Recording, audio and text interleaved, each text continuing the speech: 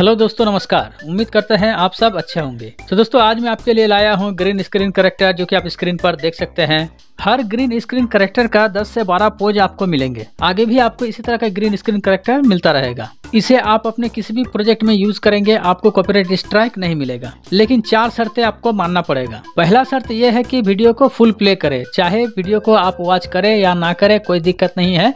Just video को play करके mobile को साइड में रख देना है।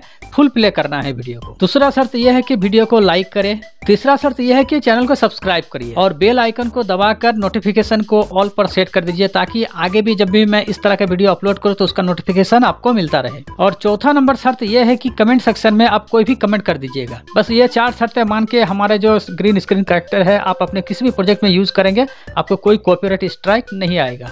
दोस्तों ग्रीन स्क्रीन को किस तरह से यूज़ किया जाता है, इसका भी एक ट्रिक है। जैसे साइलेंट करेक्टर के ऊपर बोलते हुए करेक्टर किस तरह से सही तरीके से सेट किया जाता है या फिर रनिंग करेक्टर किस तरह से सेट किया जाता है, ये एक ट्रिक है। और ज़्यादातर नए क्रिएटर इस ट्रिक को नहीं जानते हैं। अगर आप जानना चाहते हैं इस ट्रिक के बारे में तो हमें कमेंट में बताइए। मैं बहुत जल्द ही इस बारे में एक वीडियो ज़रूर बनाऊँगा। इससे फ़ायदा यह होगा कि जो कार्टून वीडियो एडिट करने में आपको एक घंटा का समय लगता था, वो कार्टून वीडियो आप आधे घंटे में एडिट कर सकेंगे और बड़े ही आसानी से। तो दोस्तों, यही था आज का वीडियो मिलते हैं किसी और वीडियो में। तब तक के लिए टाटा बाय बाय नमस्कार।